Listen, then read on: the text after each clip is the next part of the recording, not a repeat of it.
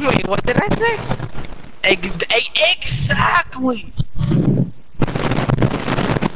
What? What the fuck? Nigger, a frying pan